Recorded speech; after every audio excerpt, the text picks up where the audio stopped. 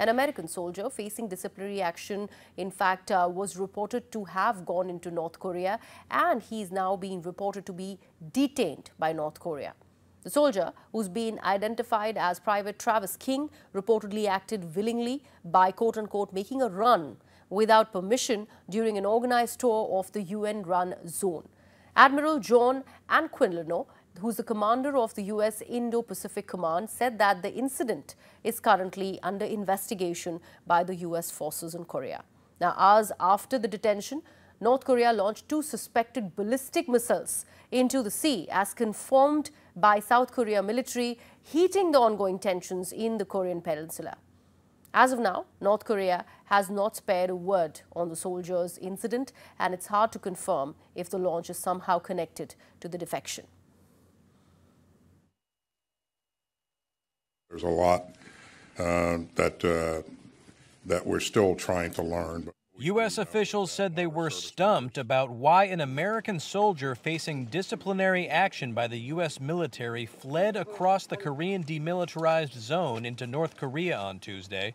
In Washington, Defense Secretary Lloyd Austin expressed concern for the soldier, identified as Private Travis T. King, who was on a civilian tour of the joint security area on the border between the two Koreas. What we do know is that one of our service members who was on a tour uh, willfully and without authorization crossed the military demarcation line.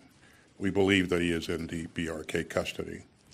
And so we're closely monitoring and investigating the situation and working to notify the soldiers next of kin uh, and engaging to address this incident.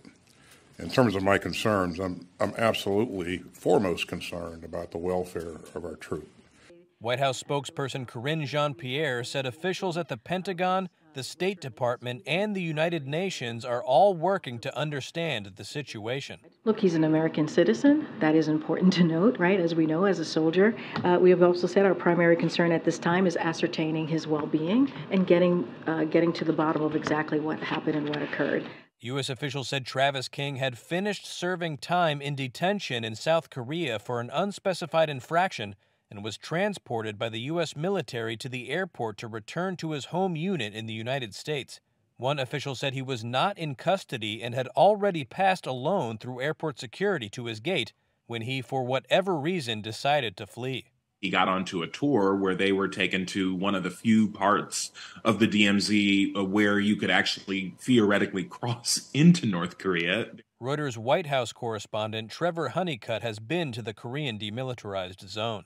We're still learning a lot about what um, exactly motivated this uh, soldier to cross. Um, the evidence that has lined up so far suggests that it, you know, clearly was a premeditated thing, uh, and that this soldier was facing disciplinary action, and the military was about to be transferred out of uh, South Korea um, and to face that disciplinary action, um, uh, and and then and then made this decision to cross over into North Korean territory, um, you know, much to the surprise of everyone else that was on the tour with him, uh, who thought it was a joke at first, um, according to uh, the uh, witness accounts.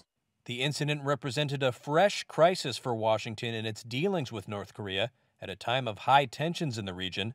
Japan's defense ministry said North Korea fired two ballistic missiles into the sea near Japan early on Wednesday local time. The launch comes as a U.S. nuclear armed ballistic missile submarine arrived in South Korea for a rare visit in a warning to North Korea over its military activities. North Korea has been testing increasingly powerful missiles capable of carrying nuclear warheads, including a new solid fuel intercontinental ballistic missile launched last week a launch Pyongyang said was a warning to the United States and other adversaries.